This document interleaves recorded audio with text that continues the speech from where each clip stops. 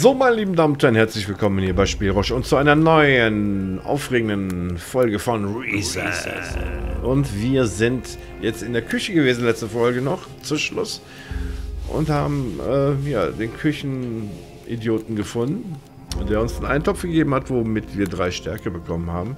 Ähm, ich habe jetzt auch mal die ähm, Karte studiert hier so ein bisschen. Wie das Ganze hier funktioniert, Weltregel Karte, Regionalkarte, das ist dann halt die Vulkanfestung. Das Problem ist hier, aktuell sind wir ja hier, Vulkanfestung, und da haben wir hier diese, diese aktuellen Fälle, ja, also die erledigten stehen dann ja hier, so, aber aktuell sind wir hier dran, da können wir, haben wir vier Quests offen, besorgt ihr einen Kampfstab, die Prüfung des Meisters, ähm, brauchen wir noch nicht, weil da sind wir noch lange nicht. Finde den Mörder von Hemmler. Wäre das näherste nach dem Kampfstab und das Tor der Festung. Ähm, ja, das sind die zwei Sachen mit Meister hier und äh, das, äh, da sind wir noch lange nicht. Also, erledigt. Aktuell wäre jetzt erstmal besorgt ihr einen Kampfstab und dann müssen wir auf die Questkarte gehen. Ne? So, und dann sehen wir nämlich, wo wir hin müssen. Da ist er, Bronco. Aber wir haben ja auch noch was anderes zu tun. Und das wäre, finde den Mörder von Hemmler. Und zack, ändert sich das und wir müssen zu Meister Vitus gehen. Und wo der steht, das wissen wir ja. ja. Genau vor unserer Nase. Also, wir halten uns mal hier dran. Nun, Rekrut?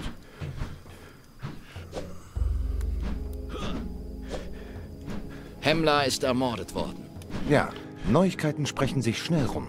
Bald weiß die ganze Vulkanfestung davon. Aber natürlich hat niemand etwas gesehen oder gehört. Das erschwert mir die Suche nach dem Mörder. Habe Vertrauen in deine Fähigkeiten. Wegen Hemmler.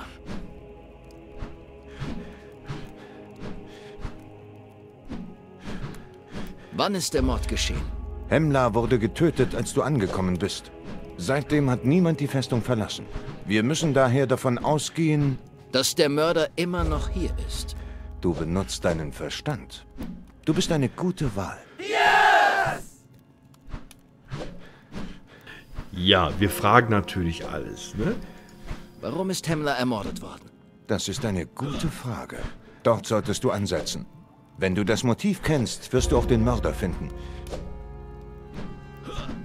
Wo soll ich anfangen? Am Tatort. Der Novize Kaspar ist verantwortlich für die Schlafkammern. Vielleicht weiß er etwas. Er handelt auch mit vielen der Rekruten. Dann bekommt er sicher einiges mit. Sprich mit ihm. Er soll dir helfen.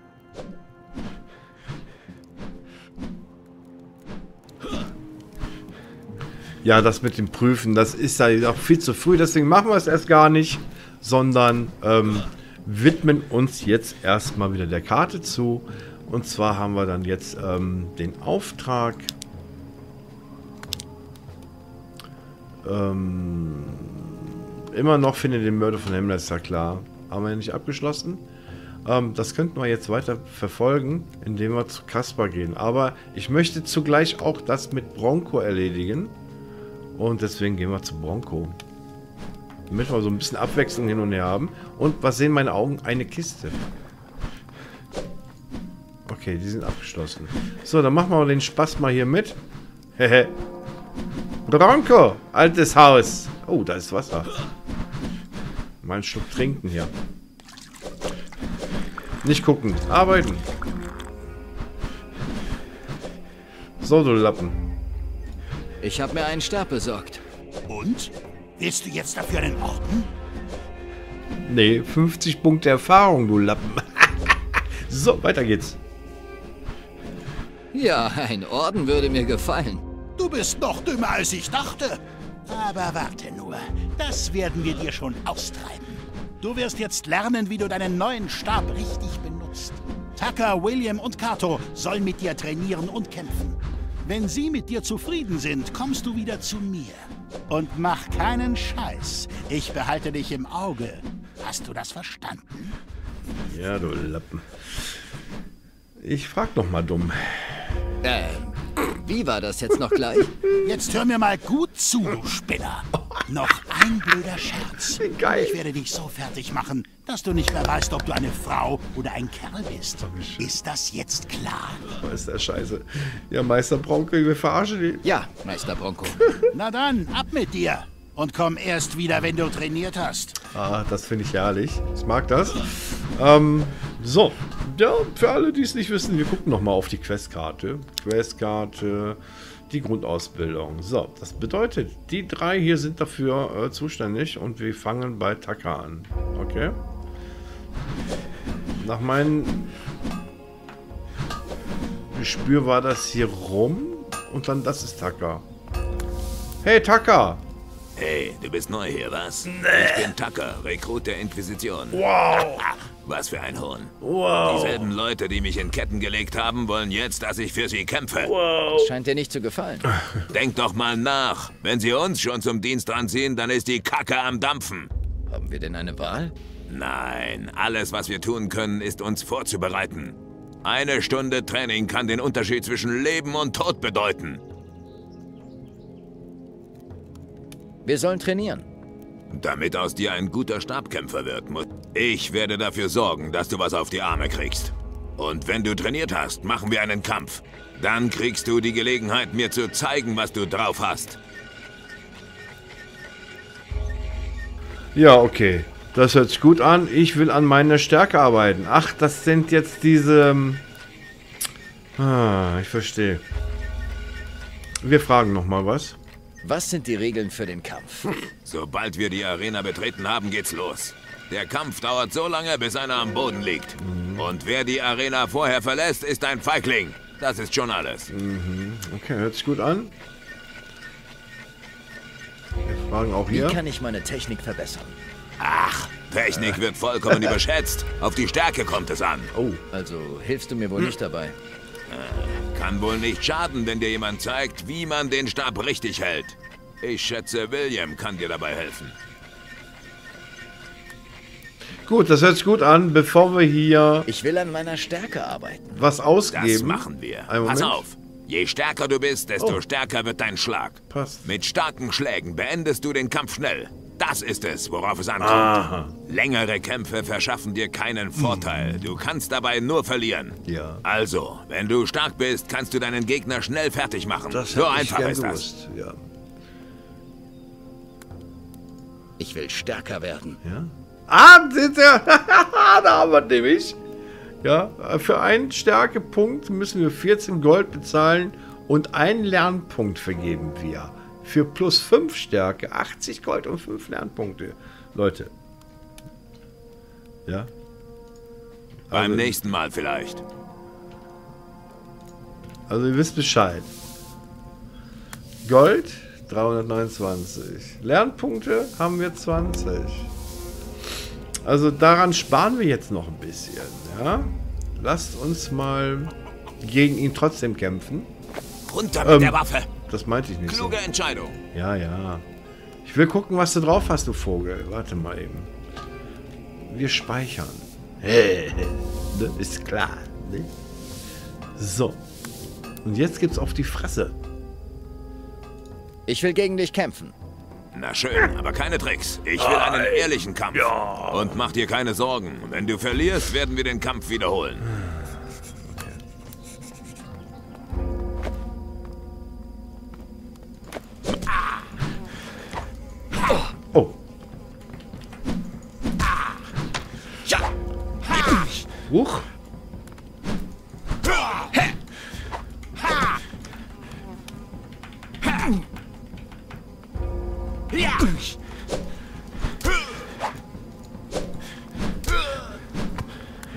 Alter.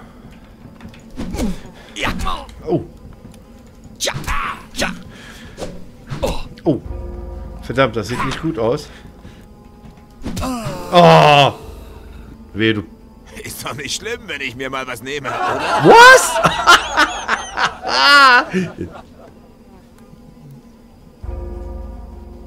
Ähm, was hat denn der sich genommen? Alter!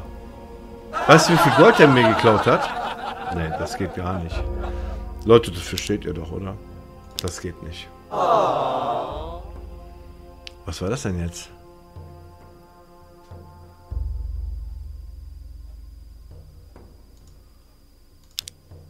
Hier sind wir doch richtig, ne? Das ist anscheinend die Arena. Und, ey, hier könnten wir doch einfach runterspringen, oder? Es ist, glaube ich, zu hoch. Juhu, hallo. Aber, ja, dann bist du tot, genau. Da unten sehe ich auch ein paar Geier. Es gibt bestimmt einen Weg raus hier. Ohne, dass man schon raus darf. Mal sehen. Wenn wir nichts schaffen, hier wie es weitergeht oder wie auch immer was, kommen wir bestimmt klar damit. Wir speichern mal eben schnell wegen dem Apfel. Ich werde bestimmt wieder als Dieb bezichtigt. Äh, nö.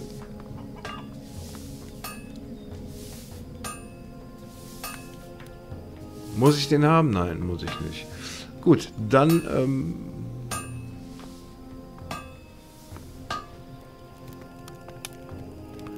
Ach, er kommt direkt nach. Was willst du hier? Ich will mich nur ein bisschen umschauen, Kollege. Ja. Und. Oder ein bisschen braten. Guck mal. Ich habe kein Fleisch Okay, habe ich in eine Kiste gelegt, ne? Oh, hier ist Gold, hier ist ein Schrank und ein Buch. Den ich, das ich nicht lesen kann. Okay, da liegt ein Apfel, den schnappen wir uns auch. Und dann kümmern wir uns um den zweiten Kampf. Ne, wir müssen noch einmal kämpfen gegen Tucker, ne? Ah, das ist aber blöd, ey, wenn die jetzt mal das Gold wegnehmen. Das gefällt mir aber gar nicht. Vielleicht sollten wir erstmal gar nicht kämpfen, sondern einfach nur... Hey Bruder, warte What? mal. Was Was? ist los? Du kannst den Friedhof nicht betreten, also geh wieder trainieren. Okay. Das machen wir ein andermal. Ich mach das nicht gerne, Oh. aber wenn du weitergehst, muss ich dich verprügeln. Ja? Okay. Aber der darf doch auch rein. Na egal. Gut. Wenn ihr Tipps habt, Leute, sagt es mir. So. Wir gehen nochmal hier gucken. Vielleicht liegt jetzt hier was. Ich meine, hier hätte früher was gelegen, aber... Dann war es wohl eher anders. So, Questkarte. Wir müssten... Ja, Taka war das. William... Kato. Wir gehen mal zum William. Hi, ich bin William. Hast du dich auch freiwillig gemeldet? Klar. Das ist gut.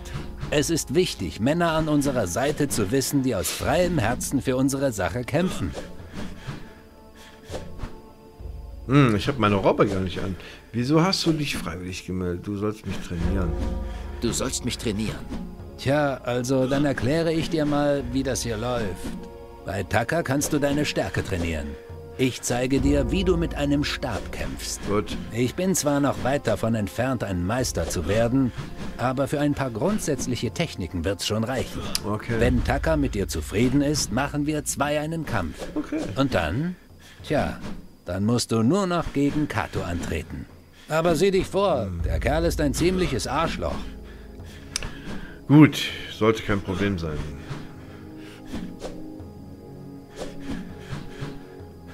Okay. Ich will meinen Kampfstil verbessern. Kein Problem.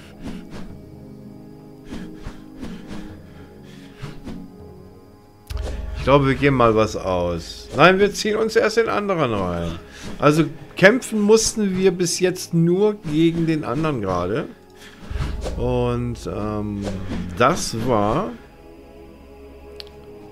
Taka. So, jetzt ziehen wir uns doch den, den Kato rein. Hey, du Affe. Sieh an, die Gott. neue. Na Die Süße, neue. darfst du auch schon mit einem Stab spielen? Lies lieber ein Buch, dann tust du dir nicht weh, Frischling. Schwör ab, Boah. Na, warte. Na, warte, Freund. Dich habe ich gefressen. Aber sowas von. Jetzt wollen wir mal eben gucken. Können wir noch irgendwas zu uns nehmen, was uns verbessert? Wir können mal zum Schmied laufen.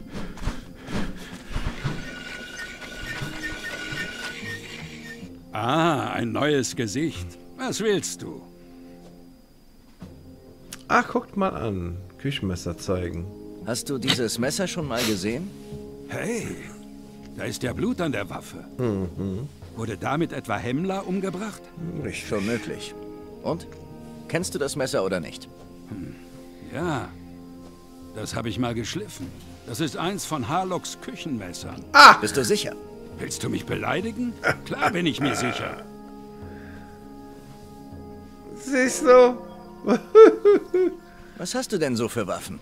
Ich habe so einiges. Aber es gibt nichts umsonst.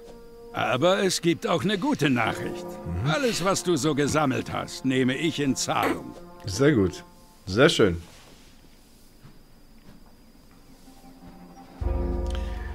Zeig mir deine Waffe. Dann zeig mal, mein Freund. Genau darauf wollte ich nämlich gerade hinaus. So. Hieb, Schaden 16. Ja. Es gibt nicht nur diese Stäbe, es gibt auch richtig gute Stäbe. Aber meiner ist dasselbe. Ich möchte aber was loswerden. Ich brauche das zum Beispiel nicht mehr. So. Ja, verkaufen. Genau. Auch diesen blöden Knüppel brauche ich nicht. Ja, da weiß ich noch nicht. Wir können auch den Ring mal loswerden. So wie auch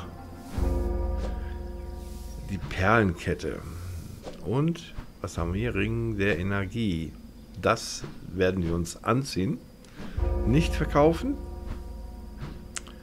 Ähm.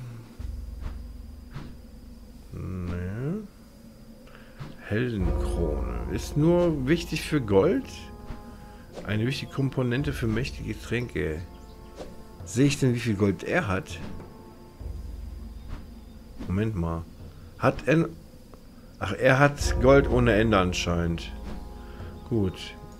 Oh, jetzt kriegen wir schon 116. Ja. So Sachen werden wir schön behalten. Tee. Das auch. Ja, das werden wir auch behalten. Weiß nicht, wofür wir das noch brauchen. So, dann haben wir hier wieder was zum Verkaufen. Gold wert. Was wert ist, das weniger. Das Küchenmesser brauchen wir. Was haben wir hier? Hm. Man kann Ringe daraus herstellen. Das könnte bedeuten, dass wir ein, ein mächtiges, äh, einen mächtigen Ring herstellen können, womit wir halt entweder Stärke oder auch Ausdauer herstellen können, vielleicht. oder aufwerten können. Deswegen werden wir ihn garantiert nicht verkaufen. Hm. Perlen weiß ich auch noch nicht, was es damit auf sich hat. Deswegen. Na komm, verkaufen wir das einfach mal, ja? So. Alles andere halten wir fest. Hier diese Hemmlers Goldbeutel. Kann man auch jetzt. Kann ich nicht verkaufen, weil das brauche ich. So, was ist hiermit? Schriftrolle, eine magische Kugel vertreibt die Finsternis. Das halten wir natürlich fest. Okay. Sehr gut. Dann werden wir das mal handeln. Warenkorb handeln, Warenkorb lernen. Handeln wir. Wir kriegen 139 Gold dafür. So. Goldschmiedzange. Wir werden sehen, wie wir es ähm, benötigen werden, kriegen werden. Mal gucken, ja. Als erstes ziehen wir uns jetzt hier beenden erstmal das. Und was ist mit Schmiederohling? Kannst du welche besorgen? Fragen wir mal. Was ist mit Schmiederohlingen? Kannst du welche besorgen? Ich verkaufe nur noch meine Lagerbestände. Hier in der Vulkanfestung ist einfach kein Bedarf dafür. Okay. Ich könnte dir welche herstellen. Allerdings müsstest du die Rohstoffe schon selber herbringen. Okay, das zu einem anderen Zeitpunkt, zwar zur nächsten Folge bei Reason, wenn wir hier an Ort und Stelle weitermachen.